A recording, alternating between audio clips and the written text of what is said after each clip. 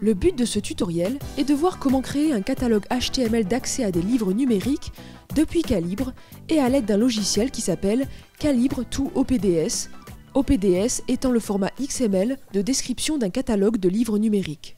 Cela nous permettra également au passage de voir plus précisément comment gérer les métadonnées dans Calibre. Les livres gérés par Calibre se trouvent sur le disque à un emplacement que l'on a choisi au moment où on a installé Calibre et que l'on peut ensuite changer. Nous l'avions installé dans Documents, dans le dossier Calibre. Voici notre bibliothèque électronique. Il n'y a pas beaucoup de livres, par exemple ici, Oliver Twist est disponible en deux formats, au format EPUB et au format MOBI. Les deux livres numériques à proprement parler, c'est-à-dire les deux fichiers, se retrouvent dans ce sous-dossier, d'un sous-dossier Charles Dickens, d'un sous-dossier Calibre que l'on a choisi de mettre dans nos documents. L'accès à ces livres peut donc se faire directement depuis le disque, ce qui est peu commode car au bout d'un moment les dossiers et les sous-dossiers vont se multiplier.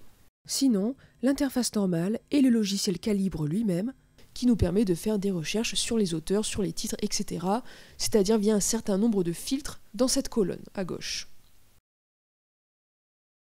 Ce que nous allons voir maintenant, c'est une autre manière de gérer l'accès à nos livres numériques depuis Calibre nous allons générer une bibliothèque électronique qui va avoir comme interface un fichier HTML, c'est-à-dire un fichier web d'accès à nos livres. Pour cela, il faut dans un premier temps bien préparer votre bibliothèque, puisque les métadonnées vont être utilisées par cette interface. Donc vérifiez la qualité de vos métadonnées. Revenez sur l'ensemble de vos livres et vérifiez les métadonnées de chacun de vos livres. Cliquez sur Modifier les métadonnées. Vous voyez ici des métadonnées très importantes, ce sont le titre et l'auteur de mon livre. Ici, vous pouvez mettre des étiquettes, des mots-clés particuliers. Ici, ils ont été fournis avec le livre lui-même. Nous allons en mettre une plus simple. Ici, c'est un livre que l'on a sorti du projet Gutenberg. Nous allons changer la couverture. Pour cela, cliquez sur Télécharger la couverture et Calibre va se charger de faire une recherche sur Google, Amazon et sur Open Library sélectionnez la couverture de votre choix. On voit ici un champ qui est le champ Notes et qui permet de donner une évaluation des ouvrages, ce qui sera utile lorsque vous aurez beaucoup de livres, de façon à pouvoir sélectionner les plus importants en un seul clic. Cliquez sur Suivant pour passer au livre suivant. Suivez toujours le même principe pour tous vos livres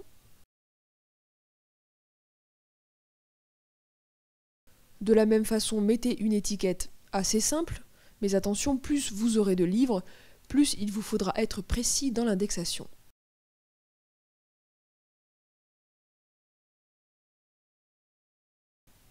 Ça y est, les métadonnées de votre bibliothèque Calibre sont bonnes. Maintenant, nous allons utiliser un logiciel particulier qui s'appelle Calibre to OPDS pour générer une interface HTML. Nous allons voir ce que cela signifie nous allons chercher ce logiciel et l'installer sur notre ordinateur. Tapez Calibre tout OPDS dans un moteur de recherche. Le premier résultat qui apparaît est le site de Calibre tout OPDS. Cliquez sur l'onglet Download, qui est l'onglet des téléchargements. Différentes versions vous sont proposées. Cliquez sur la version qui correspond à votre machine et installez l'application.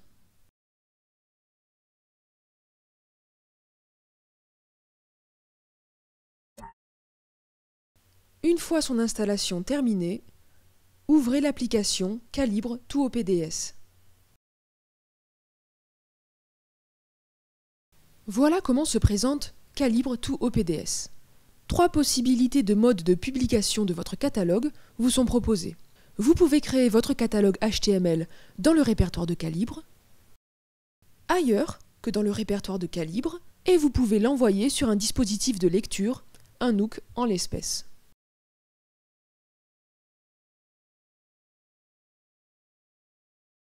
Ce qui va nous intéresser ici est de mettre votre catalogue ailleurs sur un autre emplacement du disque ou sur un autre disque que le répertoire calibre. Cliquez donc ici.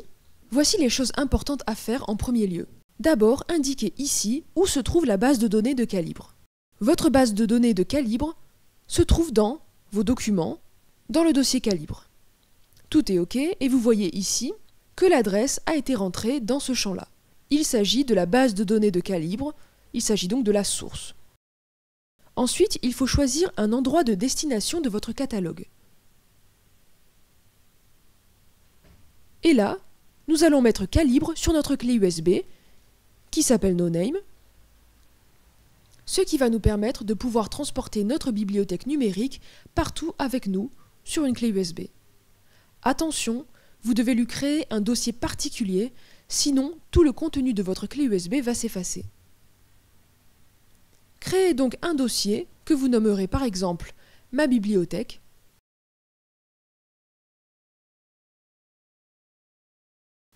Puis cliquez sur Ouvrir. Donc nous venons de régler notre logiciel de façon à ce qu'il aille chercher les données sur notre disque dans le sous-dossier calibre qui est dans le sous-dossier document, dans le sous-dossier didacticiel pour envoyer notre bibliothèque vers notre clé USB qui s'appelle NoName dans un répertoire qui s'appelle Ma bibliothèque. Nous avons ensuite un certain nombre d'options concernant la génération du catalogue. Deux choses importantes à voir. Dans l'onglet Options de génération de catalogue, nous avons ici Ne pas générer de catalogue HTML. Or, c'est justement ce que nous voulons faire. Il faut donc décocher cette case-là. Ceci est très important, sinon vous n'aurez pas d'interface HTML. Ici, dans l'onglet Options de personnalisation avancée, vous avez des formats qui vont être utilisés. Or, nous avons des livres au format MOBI, donc nous allons rajouter le format MOBI qui n'y est pas par défaut. Voilà, cliquez maintenant sur Générer les catalogues. Un avertissement apparaît.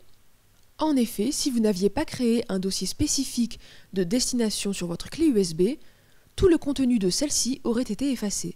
Mais là, nous sommes bien dans ma bibliothèque, qui est un dossier dédié à cela, et qui est vide, donc cela ne pose aucun problème. Le catalogue est en train d'être généré. Voyons le résultat. Allez sur votre clé USB, dans le dossier Ma bibliothèque, dans le sous-dossier catalogue, et dans ce sous-dossier, vous avez un fichier qui s'appelle index.html.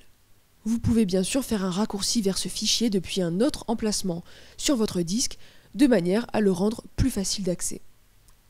Ouvrez cette page. Voilà à quoi ressemble votre interface HTML. Vous pouvez aller chercher vos livres par auteur et via d'autres critères.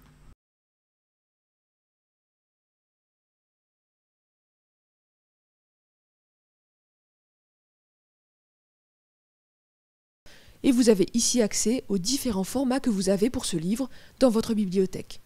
Nous allons par exemple ouvrir ce livre au format EPUB dans Firefox via EPUB Reader.